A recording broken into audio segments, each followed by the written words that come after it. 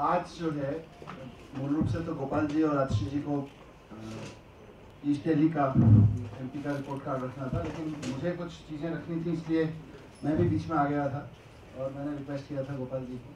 Basically इसलिए भी एक राइटर देना पड़ा, क्योंकि ये गवर्नमेंट गवर्नमेंट से रिलेटेड कुछ इशू था। यूजुअली इस तरह की प्रेस कॉन्फ्रेंसेज फिर गवर्नमेंट के बिहार पे होती हैं, पर क्योंकि अभी गवर्नमेंट के बिहार पर कोई प्रेस कॉन्फ्रेंस हो नहीं रही है तो मैंने सोचा आपके सामने मैं इसी प्लेटफॉर्म पर आके रख देता हूँ, आपको भी अलग से नहीं बुलाना पड़ेगा। बेसिकली आपको है कि सरकार जब से हमारी बनी है एजुकेशन पे काम कर रही है और गवर्नमेंट स्कूलों के बच्चों के एजुकेशन रिफॉर्म पे बहुत काम किए हैं। हर साल सरकार गर्मी की छुट्टियों में समर कैंप लगाती है मिशन बुनियाद चलाती है। मिशन बुनियाद और समर कैंप उन बच्चों के लिए होते हैं जो बच्चे अपनी टेक्स्ट बुक ठीक से नहीं पढ़ पा रहे बेसिक कैलकुलेशन ठीक से नहीं कर पा रहे और समर कैंप का भी एक आइडिया रहता है उसके साथ साथ। चार साल से लगातार चल रहा है प्रोग्राम इस साल भी चलेगा। अब गवर्नमेंट स्कूल के जो पेरेंट्स हैं, वो बहुत बड़ी संख्या में ऐसे लोग हैं जो वेल इन्फॉर्म नहीं हैं, पढ़े लिखे नहीं हैं। उनको हम अंग्रेज़ी के यहाँ से सर्कुलर्स भेजे हैं हिंदी के वो पढ़ भी नहीं पाएँगे उस तरह से। तो सरकार विज्ञापनों के ज़रिए रेडियो विज्ञापनों के ज़रिए पेरेंट्स को सूचित करती है। ये हम लगातार चार साल से करते चले आ रहे हैं। करीब छह लाख बच्चों के लिए समर कैंप लगने हैं और मिशन बुनियाद का कैंप लगना है अभी।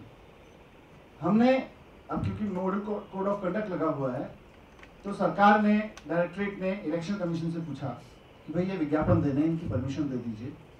तो इलेक्शन कमीशन ने मना कर दिया। बोले, आप स्कूल लेवल पे पेरेंट्स को इन्फॉर्म कर दो, आप बच्चों के लिए विज्ञापन नहीं दे सकते। मतलब बड़े आश्चर्यजनक तरीके से उन्होंने लिखा कि सेक्रेटरी और डायरेक्टर ऑफ़ एजुकेशन टू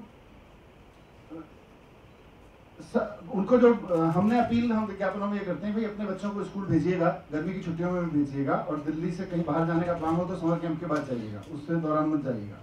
तो उन्होंने कहा, such an appeal is made by secretary director appeal कर दें। कोई मिनिस्टर की तरफ़ से नहीं जा रही थी। बोले, स्कूल के थ्रू भेज दीजिए।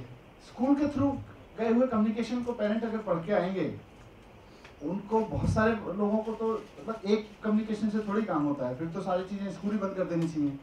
और मैं आपको पढ़ के सुना रहा हूँ कि हम इसमें बोल क्या रहे थे विज्ञापन में। मतलब उसका टेक्स्ट में कहाँ से ऑब्जेक्शनेबल है, जिसमें इलेक्शन कमीशन ने कहा कि भाई ये टेक्स्ट हम नहीं देने देंगे विज्ञापन। हम कह रहे हैं गर्मी की छुट्टियों, और वो कोई मिनिस्टर की वॉइस में नहीं जा रहा, मेरा नाम नहीं जा रहा, आम आदमी पार्टी का नाम नहीं जा रहा, आम आदमी पार्टी सरकार का कहीं नाम नहीं जा रहा है।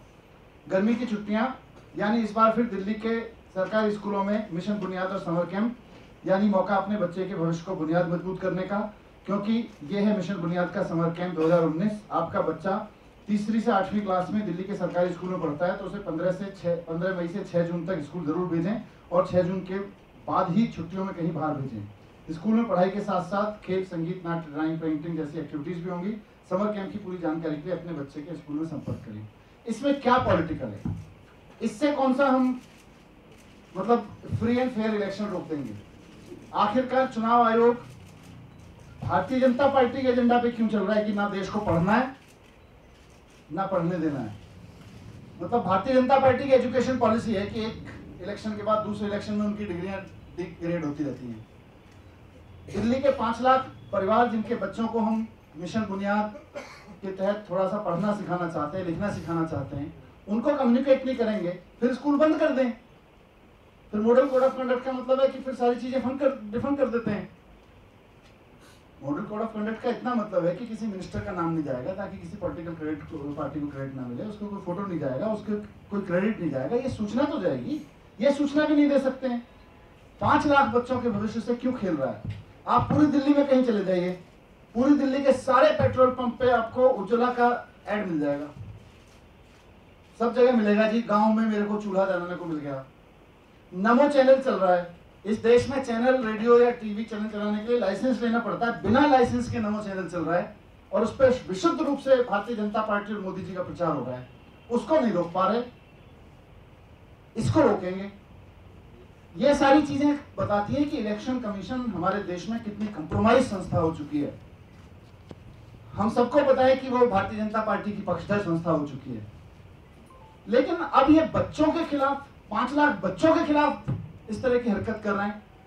तो मैंने इलेक्शन कमीशन को चिट्ठी लिखी है कि इस तरह से पाँच लाख, छह लाख बच्चों के भविष्य से तो मत खेलिए।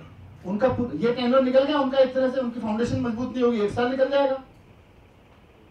तो इलेक्शन कमीशन इस देश में डेमोक्रेसी को मज़बूत करने के लिए है, बच्चों के भविष्य को मज़बूत करने के लिए है। इसलिए मैंने आपके बीच में चिट्ठी भी दे दूँगा मैं, इसलिए आपके बीच में आया था। Thank you